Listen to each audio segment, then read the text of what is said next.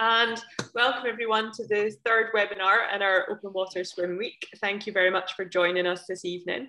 My name is Louise Wright, I'm the Interim CEO of Triathlon Scotland. Before we get started for the evening, um, I'd just like to run through a couple of house point, housekeeping points.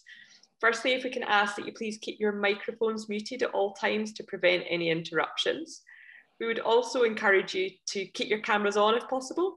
Um, this will really help us and Michael sort of see the interaction and yeah, just make it slightly more interactive as well. The only caveat to that is we are recording the session. So if you don't want to feature, then you can turn off your camera.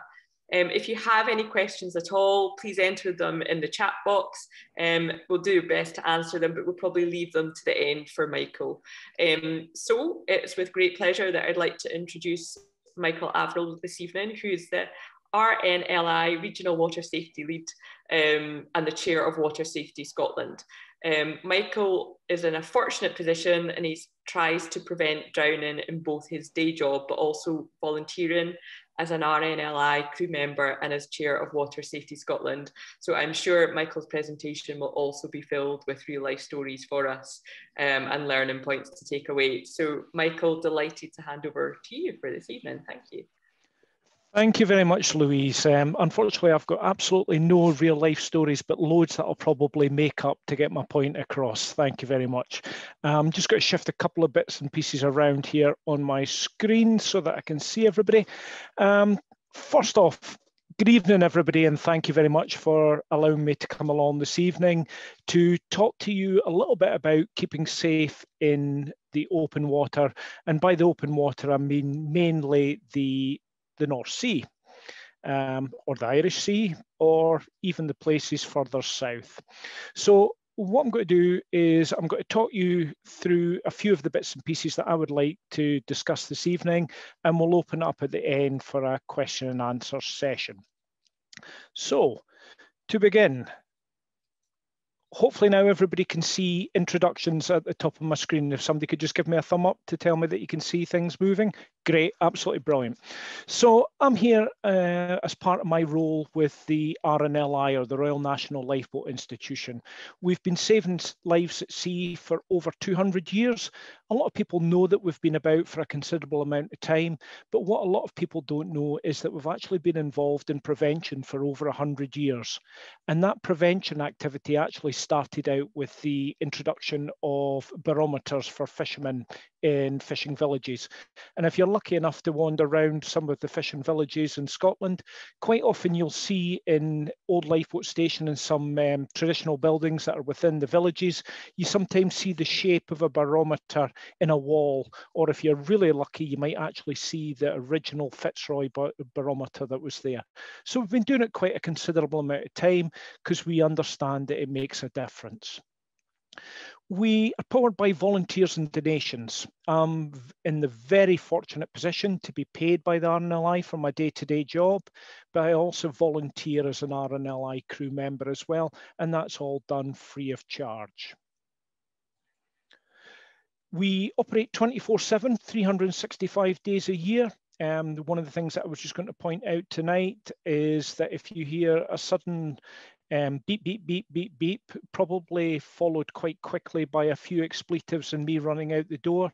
I'm on call tonight as ILB helm for Berwick upon Tweed Lifeboat Station. So um, never off call, never off call our work with partners and organisations, we try to educate, influence and supervise and rescue those at risk from drowning. So we try to do so many different things to make sure that people are safe. We're totally separate from the Coast Guard, but we do work very, very closely together. Is there any members of Her Majesty's Coast Guard here this evening? Put a quick message in the, the chat nobody admitting to it, which is absolutely brilliant because I can tell you all my good stories about the Coast Guard when they got it wrong. Well, 95% of us are volunteers, only 5% of us are staff members. And the question that I always ask when I meet people is, do you know who I am? It usually raises a few eyebrows, but I find it's an ideal way to you know, sort of to, to make people feel at ease. There's quite often that I'll actually ask myself, who the heck are you? What are you doing to have such a wonderful job that you absolutely love, and even better that you get paid for it?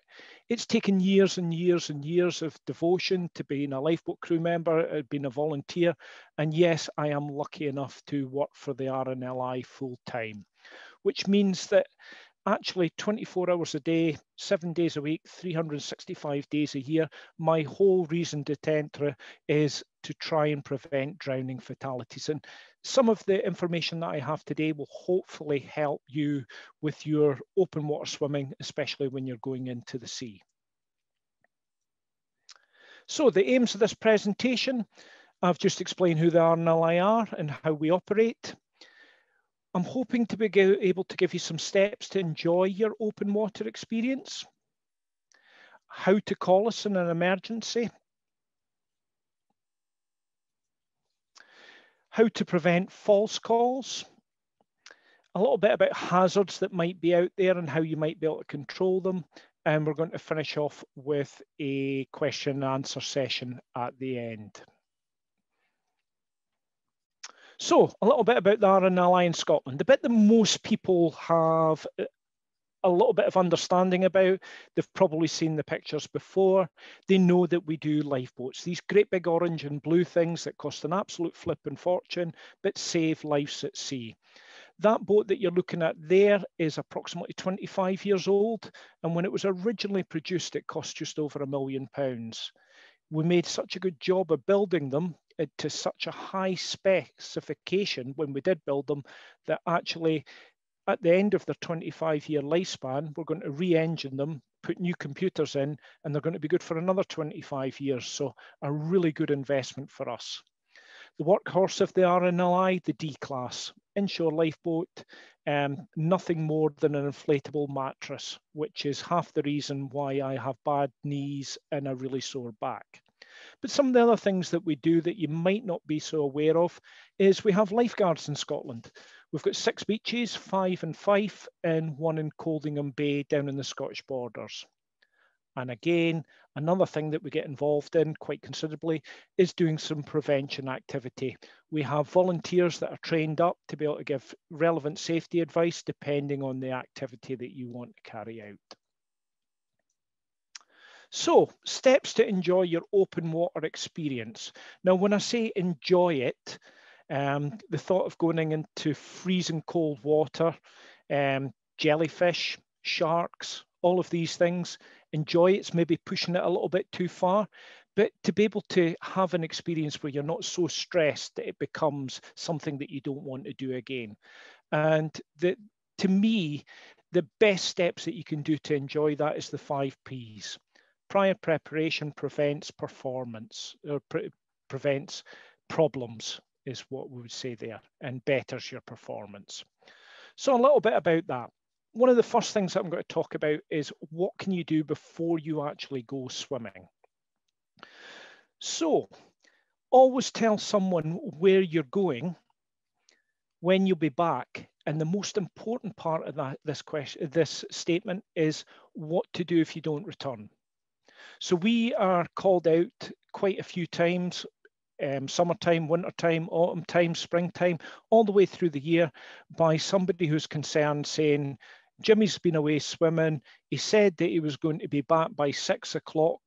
It's half past 10. The pubs have kicked out. He should have been back by now. So you've got somebody that possibly left their home at four o'clock in the afternoon to go and do a bit of open water swimming or canoeing, kayaking, sailing, and we're now talking six and a half hours later. There are certain parts around about the coast of Scotland where the tide will be operating in anything from about two to four knots. Six hours at four knots means that you could have traveled 24 miles in one particular direction or a multitude of directions. And that gives us one heck of a big area to be able to search. So what's why is it important to tell somebody what to do if you don't return? Is have a plan. Speak to that person that's staying ashore and say, well, I'm going swimming. I'm leaving here. I'll be in the water at four. I'll be out the water at quarter to five. Don't panic at five o'clock. Give me till quarter past five. I'll send you a quick text because I know that I've got a mobile phone signal there. And if you don't hear from me at quarter past five, try phoning me just in case I've forgotten. And only start press the, the big red panic button at about somewhere around about half past five, quarter to six in the evening. So we've only got an hour roughly where somebody has possibly been missing or been in trouble, which makes a big, big difference to that search area that we're trying to cover. Top tip for you, whoever it is that is staying at home that you're relying on to be your lifeline, be nice to them. Yeah, make sure that the insurance document is not sitting on the table before you go out and they've just suddenly discovered that you're worth more dead than you are alive. Be nice to that person. Always a good idea. Buddy up. Try not to do any of this type of activity alone. It's, it's a social event. It's always better to swim with somebody else.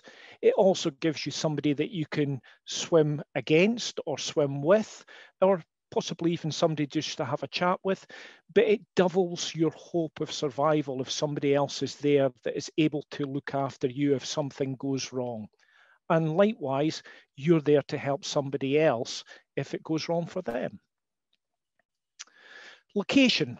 Think about the location you're going to be going swimming in. If you've never been there before, try and get as much information about that particular area as you possibly can. Speak to other people that have swam in that area. Speak to other people that do open water swimming. You could call the Coast Guard, you could talk to locals, but most people have a good understanding of their local area and good places to swim, bad places to swim. But if you're traveling 30, 40 miles to a place that you've never been before, you won't have that luxury. So think about not just where you can get into the water, but also how you're going to get out. So one of the things that I was always taught as part of my scuba diving years, and also, you know, talking about being in the water, is the most dangerous place that you can be is actually close to shore. You don't want to be spending too much time where you're going to be hit by surf, waves, currents, where the rocks are right close inside uh, or close beside you. So think about that. You want to spend as little as possible time in that area as you can. So think about how you're going to get in. Don't just jump off the seawall and think that's great. I'm in the water. I can go and do my little bit of swimming and then come back and find out you've got the best part of 15 feet to climb up a vertical ladder. Or worse yet, there's no ladder to be able to climb out. And you're going to have to swim for the best part of a mile to be able to get out of that particular area. So check that exit as well as the entry. And also try and figure out if there's any local hazards that you need to be aware of. Um, starting in reverse order, sandbanks, yeah, the amount of people that have jumped in off a sea wall or off the edge and hit a sandbank that's just under the water that you can't see or a rock, it doesn't um, go down well. It can do some serious da danger to you. Be careful of wildlife as well. Um, has anybody here ever been attacked by a seal? I have. it's not a nice experience. That little cute thing full of fluff that you see sitting on the beach that you think, oh, isn't that nice? I'll go and see if I can maybe give it a clap. They have teeth. They have big teeth. They have teeth that are covered in all sorts of bacteria. So keep that in mind. Things like jellyfish.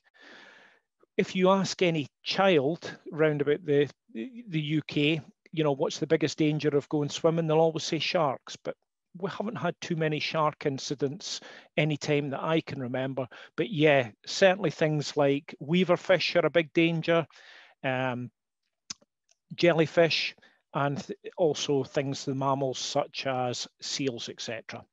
And also hydrology. Think about how that water might be reacting to the physical presences round about it. Is there a groin underneath there? Is there a great big rock that's just underneath the surface? Because that will always affect the way that that water interacts with the physical obstruction. Weather. Please check the weather forecast. Don't rely on just one weather forecast. Go to your trusted weather forecast that you've used before. And please, please don't look at five different weather forecasts and choose the best one and say that's definitely how it's going to be today. Sod's law dictates the worst one is more likely. Keep an eye on the tides. Try to get an understanding if you can get a hold of it is a, things like a, a, nautical chart, which will tell you which direction the tide will be flowing at certain stages of the tide, but local knowledge as well. Ask the locals, see if you can figure out what that tide's doing. Be aware of high tide, low tides, spring tides and neap tides all have different effects on your ability to be able to swim in a certain area. And if you're in a river, how fast is the stream? Is it affected by the tide? Because you might be swimming in a river which is close by a beach and it can be affected by the tide. Where I live in Berwick upon Tweed, we've probably got about the best part of four or five miles upriver, which is affected by the tide and make a considerable distance to your ability to be able to swim. Also think about heavy rainfall. Top tip from me, uh, through bitter experience, is be aware of heavy rainfall and the effect it's going to have on that local area. The first time that you're in swimming or diving and that you find that the sewerage outfall is also connected up to the storm drains and heavy water is going to flush everything that was in that storm drain or that sewerage back out past you, it's a it's an experience that I certainly don't want to be looking at again. But check out things like SEPA who can tell you about the quality of the water in the area that you're going to be swimming in. Planned releases. Yep. If you're lucky enough to live up in the Oban area, um, you've got the River Awe and you've got some lovely beaches around about the River Awe, but also you've got a great big loch, which is upriver from there, where they control the amount of water that is in that loch at all times. So if you give the, the control room a call, they'll actually tell you when they're releasing water into that river course, which again can make a big, big difference to if you're swimming in the river or where the river meets the sea. Rip currents, how to spot them and how to deal with them. There is a science to rip currents. I'm not going to say I'm an expert, but local knowledge will tell you where there are rip currents. There's also usually warning signs and you know the, there is a way of checking and there's some really good videos online. Check out youtube things like that which will tell you a little bit more about how to spot a rip current. So if you do get stuck in a rip current there's certain things that you can do to help yourself. Rip currents usually start when the surf is up, so look out for rough weather conditions because the more waves that you've got coming into the beach, the more water that ends up on the beach, the more water that has to leave that beach will form a rip current and push you out to sea. Before entering the water, stand at an elevating position to survey the conditions. Rip currents are easy to spot from higher up. So usually you can see broken water and then you'll see a channel where the water is returning back towards the sea. So yep, you can usually spot that from a, an elevated position. If you do get caught in one, don't try to swim against it. If you can stand, try to wade rather than swim. If not, swim parallel to the shore because it's usually a funnel. So you may be pushed further out to sea, but you know, two or three lengths, um, uh, you know, two or three meters away from you, you'll actually find that you're out of that main current and you're into slack water, which means that you can start to come back towards the shore again. If you do get caught in any one of these rip currents, please raise your hand and shout for help. Okay. The right equipment is also very important. Wear a wetsuit. Wetsuit doesn't just keep you warm, it also gives you some buoyancy. There may be hardy individuals around about, you know, within this meeting that would prefer to swim um, a pair of Speedos, uh, or a swimming costume or bikini, whatever it is that you want to swim in. But please, please have a think about the benefits of wearing a wetsuit, not just to keep you warm, but also, as I say, it gives you some extra buoyancy. Try to wear a brightly coloured swimming hat and take a toe float when you go swimming or dipping.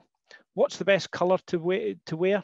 Well, actually, there's been a whole load of research done on that, and the best colour you can wear is multicoloured, because in certain conditions, black shows up well, other conditions, white shows up well, fluorescent yellow is good, fluorescent orange is good as well, but you know, depending on those conditions, you need to have a think about it, which one's going to be seen best.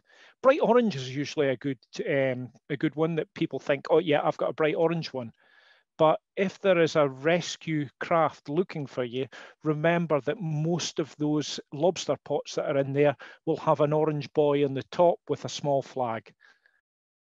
So is that the person in the water that we're looking for, that we're searching for, or is that a lobster pot? A mixture is usually better. Always take a means of calling for help with you, such as a mobile phone in a waterproof pouch and a whistle to attract attention.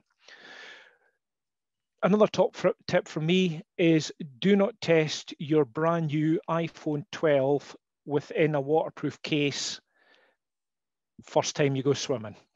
yeah, put something else in there that doesn't cost the best part of a grand whilst you're testing out that waterproof case.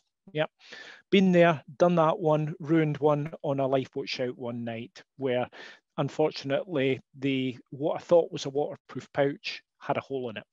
So yeah, be aware of that. But yeah, carrying your phone in a mobile, uh, sorry, your mobile phone in a waterproof case like that, you can use it if you get into trouble.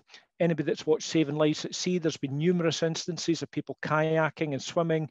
Um, there was one with a stand-up paddleboard where they actually managed to use their their bit of equipment to float on and call for help using their mobile phone.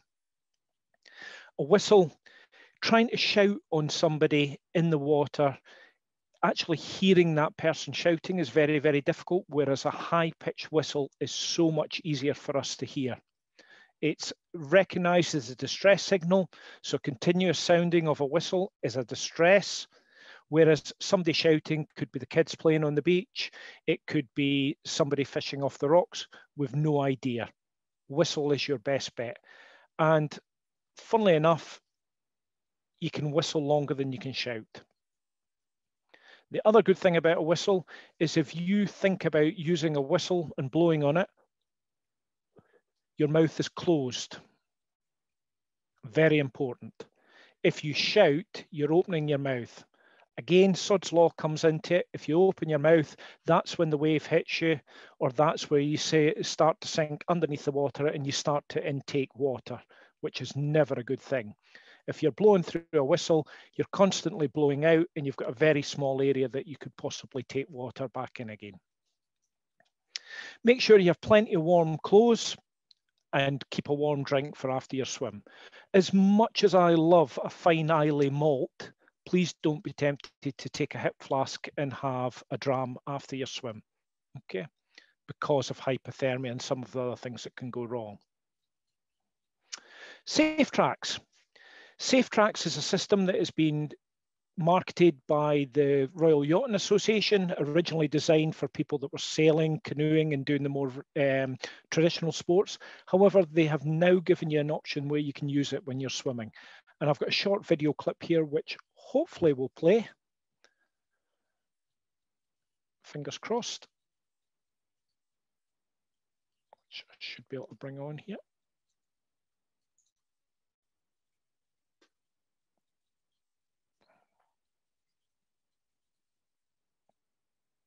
Hello, I'm Rachel Andrews. Welcome to Everyday Athlete.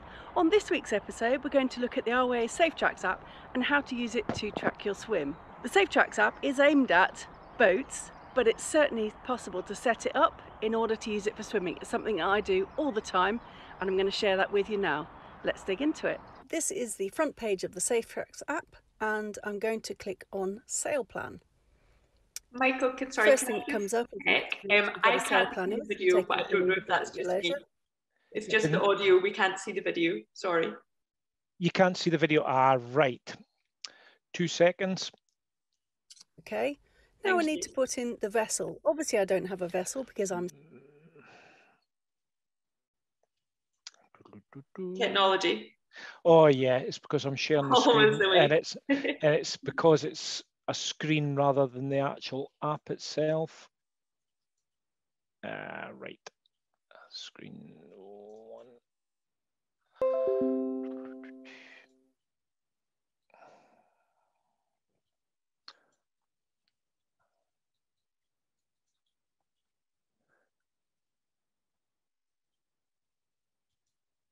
Can everybody see that now? Yep. No.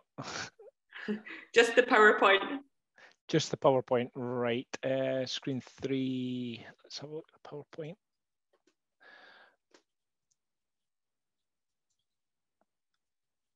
That's How's us. that? We're in action. Thank you. see, what a system, what a system. Use it to track your swim. The SafeTracks app is aimed at boats, but it's certainly possible to set it up in order to use it for swimming. It's something I do all the time, and I'm going to share that with you now. Let's dig into it. This is the front page of the SafeTracks app, and I'm going to click on Sail Plan. First thing that comes up is an explanation of what a sail plan is. Take a little read of that at your leisure. Click OK. Now I need to put in the vessel. Obviously I don't have a vessel because I'm swimming and I don't have a boat. So I'm going to call the vessel name Rach Swimming. Then I'm going to have to go through this part about a craft so that it's got some way of recording you. So I'm actually going to put in there other.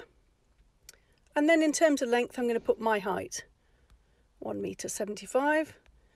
And draft I'm going to put 1 metre. Uh, next thing engine type. No engine, funnily enough. Uh, then I'm going to click Other. And then the description, I'm going to put swimmer with bright cap, toe float, and wearing wetsuit or swimsuit. That should cover all eventualities. And I'm going to click Save. Next thing I need to do is set the time of the length of the swim. So I'm going to say, for example, I might want to be in there for two hours. So I just move the dial around, select, need to click the activity type now. So it could have been more than me, but actually it's just me on my own. Swimming. Next. If I wanted to add a new contact, you just follow the details. It can pull the contacts from your phone or you can just input them as you like. So I've already selected Superman. Next. Okay, now I'm going to look for my start point. And as I'm going to be swimming at Calshot, I'll just move my little um, icon down here. And I'm going to get in about here. So I hold the button there. Okay. Then optionally I can put in a waypoint. Which I'm going to put, I'm going to circumnavigate the spit I think. So that's my waypoint and then I need to put in an end point. So as you can see, you can do all of this before you even get to your swim. So it can be pre-prepared so there's not so much messing about when you get to the beach. I don't have a checklist. That is optional. You could add something in there, but I don't. So now just have a quick check over. I click set sail. This is what I do when I get down there. Do I want to send a, um, a text to my emergency contact? Well, yes, I do, because then they know where I am. So here's a copy of the text they'll get. I can add in any extra detail uh, if I want to, but actually that, that's probably just enough information for them there. And then I can click send. And off I go. Should be quite a nice little swim. I've set the SafeTracks off, so uh, let's see what we can do. This is the screen my emergency contact will see if they click on the link in the text. My position is updated every five minutes and the little boat icon gives my heading, speed and geographic position. When I've completed the trip, I can click End Trip. Do I want to tell my emergency contact? Yes, I certainly do. This is something I do immediately as I get in the car after a swim. Click Yes, I've arrived, and then I'll send my little message. If I'm not back by the time I've said I will be, my emergency contact will get a message from SafeTracks. With that message, they need to take action. There's two things they need to do. First of all, they need to have a look on the link in the original text to see if actually I'm on land and I've just forgotten to call. And then number two, they need to try and get hold of me by text or by phone. If neither of those work and they're still concerned, they need to contact the Coast Guard. Now the Coast Guard already knows where I am because they have access to the SafeTracks information. So they're able to deploy help very quickly. One thing to be aware of is that SafeTracks does require a mobile connection in order to start and end a sail plan and to update your location as you're swimming along. Make sure you have that connection before you get going, otherwise you could trigger a false alarm. I hope you've enjoyed this week's vlog and that you're going to download the SafeTracks app and have a go with it. Give me a like, drop me a comment and hit the subscribe button. It's great to have you along. Hello, I'm Rachel Andrews. Welcome to Everyday Athlete. Okay then, hopefully now everybody can see the PowerPoint screen again. Somebody give me a thumb up. Haha, great, the system works. So as you can see, SafeTracks for a, a rescuer is a really good bit of kit because it tells us where you are. It constantly updates every five minutes. It'll stop false calls because somebody can see whether or not you're actually sitting in the pub. Um, it can do all sorts of clever things, which makes a big difference to us. But yet, as an open water swimmer or somebody using the sea for leisure, it is a really good tool that they can use to keep themselves safe. So, a little bit about the wonderful Scottish weather. 15 degrees air temperature means it's probably t-shirt weather or a major miracle, and that's centigrade we're talking about there, not Fahrenheit. However, 15 degrees in the water means that heat has been sucked out of your body 25 times faster and you'll get cold very, very quickly. Check the forecast before you go. The Met Office UK website is good for this, as are other options such as Windfinder. Pay special attention to the wind and tides. Please, please, please, if you're in any doubt whatsoever, don't go. It doesn't make you a wimp it means that there's not an empty space at the table come a family meal. There will be many other days to swim. Please don't take unnecessary risks. And it's one of the downsides of my job is because I see so many incidents, I see so many things go wrong, it's made me hyper careful where, you know, I, I don't actually go diving anymore, but yet I still do enjoy the water, but just not in the more extreme sports. So acclimatization, it's really important for you to enter the water safely to avoid cold water shock. Splash water in your neck and face, try not hold your breath, enter the water slowly. Cold water immersion can seriously affect your swimming ability, but it is something that you can build up a resistance to.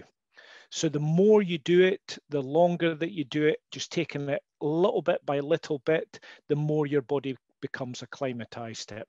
And if you've got time, please go into things like YouTube. And if you Google Mike Tipton, he is the world renowned expert in cold water shock, does a lot of work with the RNLI Olympic athletes and all sorts of people. And he is the master of cold water shock and can tell you more. So, why do people swim in open water? Open water swimming is becoming increasingly popular. In the past 12 months, they've seen a huge rise in the number of people swimming. So they are the RNLI's working on it at the moment. You'll be pleased to see that it's not me in the wetsuit or even worse still in a pair of swimming trunks, but hopefully this video clip's going to work. Can somebody give me a thumbs up when they can see it?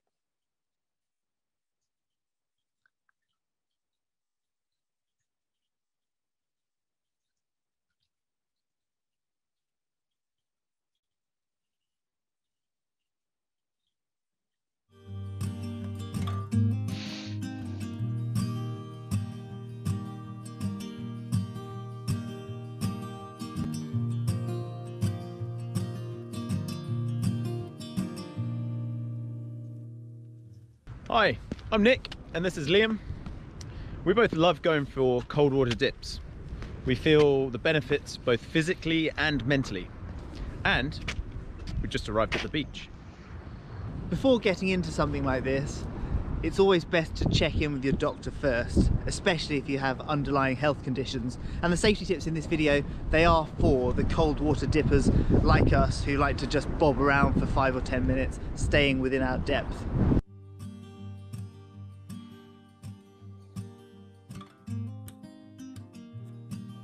It's really important that you never go alone. Always go with somebody else to a familiar spot that you're both used to. Before you dip or swim, check the weather forecast, including tidal information and swell height at that location.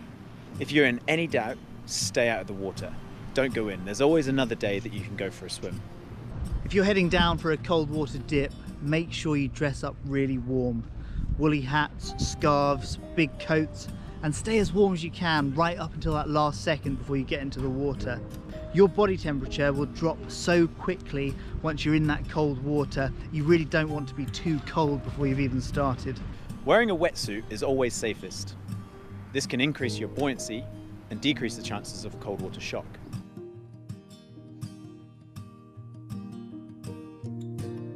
Acclimatise slowly and gradually when entering cold water. Start by splashing your face your neck, and your arms to adjust your body's temperature. Never jump or dive straight into the water, as this can cause cold water shock, seriously impacting your ability in the water. It can literally take your breath away.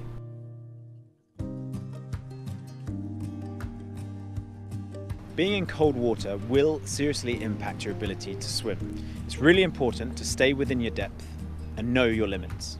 Never take risks and always stay close to safe entry and exit points throughout your swim. Water is always moving and that is something you've got to stay hyper aware of. From the very first moment you get into the water, you might notice that it's pulling or drifting in a certain direction.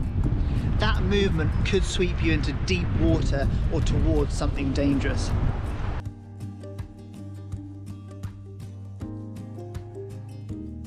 Always be seen. By wearing a bright swim cap will increase your visibility in the water. And consider using a tow float too.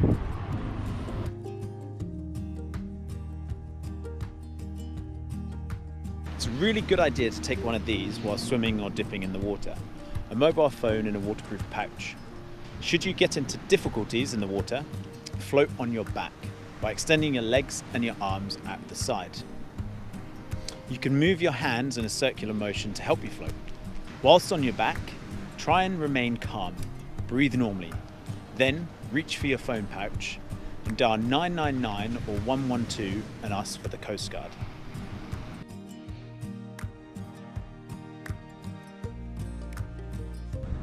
In that moment you first get out of the cold water, you might feel fine. You might almost feel like the air temperature is warm, but don't be lulled into a false sense of security because your body will still be cooling rapidly. Make sure you grab your changing robe, your big towel, put your woolly hat on and start to warm up gradually.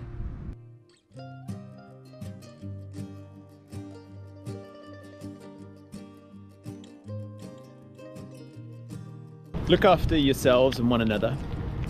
And remember, never go alone. Acclimatise slowly. Stay within your depth. Always be seen.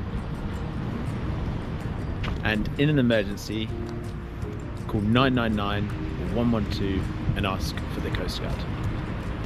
Thanks for watching. If you found the video useful, please give it a thumbs up and subscribe for more content like this in the future. Bye!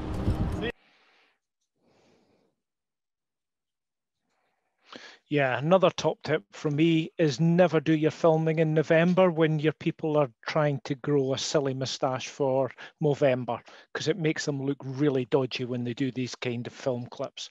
But yeah, it's you know depending on your experience that you might have found that useful. Um, hopefully you did. It kind of summarizes all the points. But again, that's something that's available through YouTube that you can share with people that are maybe just starting out and don't have that breadth of experience. So in an emergency, please call 999. If you're in the sea, you ask for the Coast Guard, okay? Please don't be tempted to call the police or the ambulance or the fire service because what will end up happening in Scotland is you get a multi um, emergency service response. So if the fire brigade are called, they've got to respond. So because you send one fire engine to somebody that's in the water, they then will send a backup fire engine. Because you've got two fire engines, you've then got to send uh, a senior fire officer. Because you've got two fire engines and a senior fire officer, then you've then got to send an ambulance. Because you've got more than so many emergency services attending the one event, you've got to send a police car. Because you send it, and it just goes on and on and on and on. Whereas if you call the Coast Guard, they'll be able to deal with it and you will get a lifeboat to you as quickly as we possibly can. Please have a good idea of exactly where you are. Okay, be aware that there will be signs that possibly like this one in Aberdeen, which has a safety number, which is a unique beach location code, which if you call the Coast Guard and give them that unique beach location code, they hold it on a, a fancy gazetteer system called Fintan, and they know to almost the millimeter exactly where you're calling from. Be aware if you start to use a local name of a swimming spot, it might not actually be on that gazetteer and the person that you're dealing with on the phone could be anywhere in the UK or even Northern Ireland. So if there's a major incident going on in the Aberdeen Coast Guard area, what they will do is they'll transfer all their 999 calls to somewhere like Stornoway, Belfast, or possibly even Southampton. So you're not dealing with a local Coast Guard. So be aware of that. Don't use a local name, use a proper name because it might not be recognised. Do not enter the water to try and rescue somebody all that ends up happening there is instead of looking for one person in the water in trouble, we're now looking for two who have entered the water at different times with different abilities, and our search area just massively widens. If you can, throw a life belt or a throw line. If you've ever tried to throw one of these life belts, you won't get it more than a couple of yards unless you're throwing it from a height. So look out for something like a throw line but call for help is the first thing that you should be doing. What three words? A lot of you might have heard of what three words as a way of giving your, your actual position. Be aware that if you misspell your what three words, so you know if you if you take a word such as beams, B-E-A-M-S, and you put in instead of hitting the S, you hit the Y, and you say that you're at Beamy, that puts you in a totally different position altogether. So just be careful as you use what three words. So to summarize what we've talked about today, be prepared, check weather and tides, choose your spot, go with a buddy and have the right equipment. If in doubt, don't go out. No matter how much preparation you do or how experienced you are, if a swim doesn't feel right, there is no shame of getting out that water straight away or not entering that in the first place always ensure someone knows where you're going, when will you be back, and what to do if you're not back. The most important part of that is what should they do if you do not return on time. Make sure you acclimatise to avoid cold water shock. Be seen, wear a bright coloured swim hat and take a tow float. Stay within your ability. Float to Live. So the RNLI's got a campaign called Float to Live that some of you might have seen advertised. And what that's all about is if you do get into trouble, if you take a cramp or maybe you start to feel unwell, please roll onto your back, go like a starfish, put your arms and your legs out, extend them as much as you possibly can, and just do small sculling movements with your hands and your feet. You will be able to float shout for help, and somebody will get to you as quickly as they possibly can. And remember, 999 or 112, ask for the Coast Guard if you're at the sea, and rescue, fire and rescue if you're inland.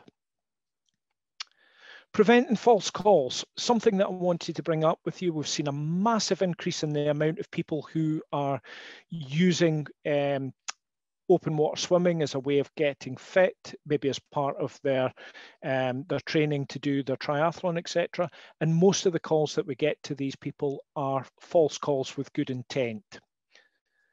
So if you can at all put someone ashore or have a support vessel with you, whether that's a kayak or a rib, somebody that can keep an eye on you and tell people ashore that you're okay and you do not need help try to swim in an organised event where the local rescue groups or the, the Coast Guard know what you're doing and they already understand that you're in the water and it's not something new to them.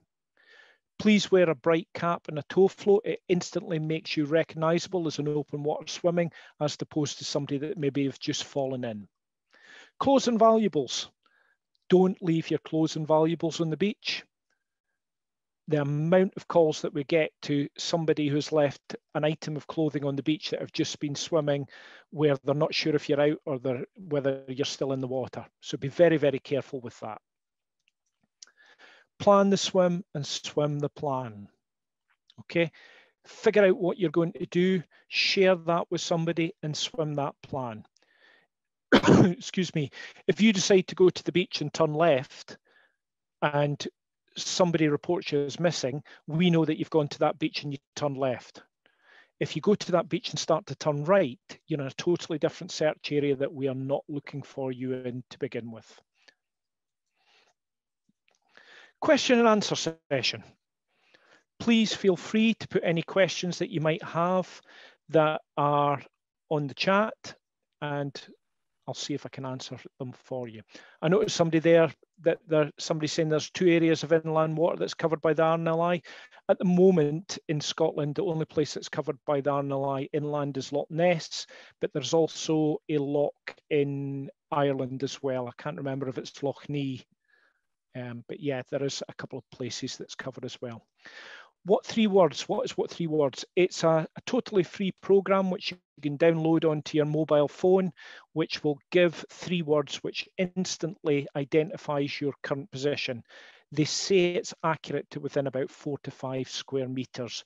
So, you know, you, where you're sitting now, if you download the What Three Words app, you can press that and it might say to you, red caravan river three words which are totally unique to that particular square as it's been divided up across the coast, uh, sorry, across the whole of the UK.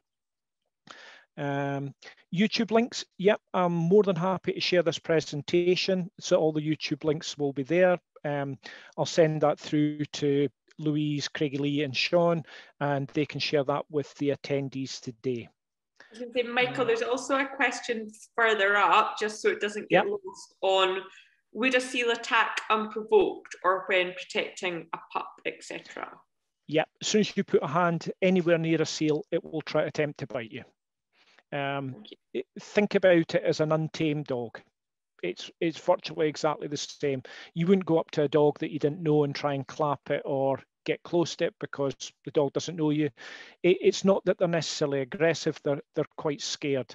Um, they could either do damage to you, but you can also do damage to the seal. If you were to go close to a seal who has a seal pup, that seal will move away and possibly not come back to the seal pup. So avoid, avoid, avoid at all times if you can.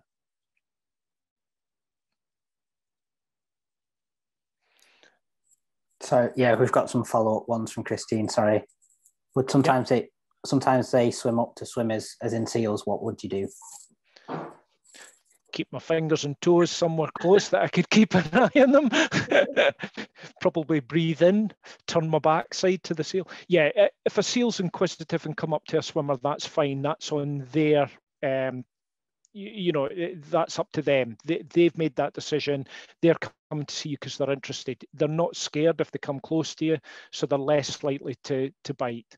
Um, as i say the, the the time where a friend of mine was bitten they actually approached the seal and put their hand out to it which was why they got bitten.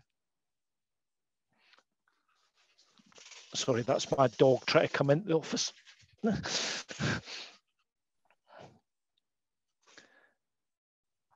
any more questions from anybody? Yeah, there's a couple more, Michael, in the yep, of course. chat box. Um, what is the best time to swim? Two hours before high tide with lots of question marks. Uh, not necessarily. Um, you need to know the local conditions, depending on the, the height of tide, whether it's a spring tide or a neap tide. There's loads of different calculations that could be done. It probably will come down to local knowledge. Um, people that swim that particular area all the time will know the, the, the times where it's slack tide, which is the best time to swim. Um, if you do enter the water, be aware that that could change at any time. So just be aware of it and don't overexert yourself and always have a plan B. Always have a plan B. So uh, th th there's not a catch-all answer for that. It, it's down to be able to study a chart and look at the, the chart and know the time of high water um, from the time of high water, you can tell how many hours you are before that, and the chart will give what's called tidal diamonds. So the nearest tidal diamond to the place that you're going swimming, it'll give you an indication of the approximate direction of tide and the strength of it. Great, thank you. Um, next question. There are lots of Fox 40 whistles. Do you recommend any particular one? I've got a close colleague who could spend the best part of an hour telling you the difference between all the whistles. To me, the whistle, the best whistle for you is the A, the one that you're carrying, because if you don't carry it, it's no good to you. So it's got to be something small and compact that you can easily attach that's not going to become an encumbrance to you. So yeah, you could probably get a really big whistle, which would cause drag, um, it get caught up and everything. That's not the one for you because you'll just end up taking it off your kit. So look for something small, compact, which is loud, and be aware when they fill with water, then they don't work to their best. So you may have to tap the water out of them before blowing. But yeah, try them out. There's loads of good ones out there. Acme Thunderer is probably the one that most people will be able to find on eBay and things like that. That's you also get ones which are made specifically for life jackets. Be aware that a lot of them are cheap rubbish. They're just there to fulfill the purpose of meeting regulations. Go for something like an Acme Thunderer, which will will give you a, half decent um, noise. And there's there's storm whistles out there. There's there's loads of different types which are quite good. Um, thank you. Right, next one's my question. Do yeah. you mention checking the weather forecast? Is there any particular app or weather forecast you would recommend to check? Scotland specific. Yeah, it, again, it comes down to that particular area in Scotland. The West Coast, for a while, the best one that I ever found was theyr.tv, which was T H E Y R.tv. Uh, um, the reason that was a good weather forecasting system was because it was based in Iceland, and a lot of the, the, the weather patterns that came into that particular area that I was staying in um, came from Iceland. So it was pretty damn accurate because two to three hours it was over the top of Iceland. Um, Magic Seaweed gets a good reputation because all the surfers use it. Um, there's loads of different ones out there, but but rate it. If you if it doesn't give you you know if you're going to the beach just for a wander or you're going to a particular area and you find that that weather forecast is not quite as accurate as you want it it probably isn't a good one. There's loads of different types out there. You'll find one which is good for the area that you're using that is accurate Great, thank you. Then next question is, any advice for if you get stung by a jellyfish? oh yes, there's loads and loads of advice if you're stung by a jellyfish. If I was to be really rotten and it was somebody that I think I would be talking about using a certain bodily fluid on top of the sting, which would get it out. Yeah don't even attempt it. You just end up getting arrested for exposing yourself. Little packets of um, vinegar from fish and chip shops and things like that's usually pretty good. Um, that's what I've used before in the past. Yeah, it, when you're diving, the only bit that's actually exposed is that bit there and it again sod's law which i sign up to it's the top of the lip that gets you. So the last place you want anybody peeing on you is anywhere near your face. So yeah vinegar's up a good good shout. Yeah there's a famous friends episode with such antics involved um, does anyone else have any questions for michael?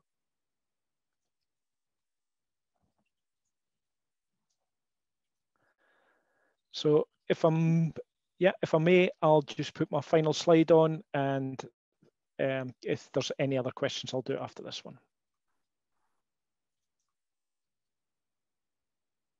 So, hope you're all good. Look after each other, pull on your emotional life jacket and keep each other afloat. There we go. I'll see you again tomorrow at the usual time. Frank, get the door.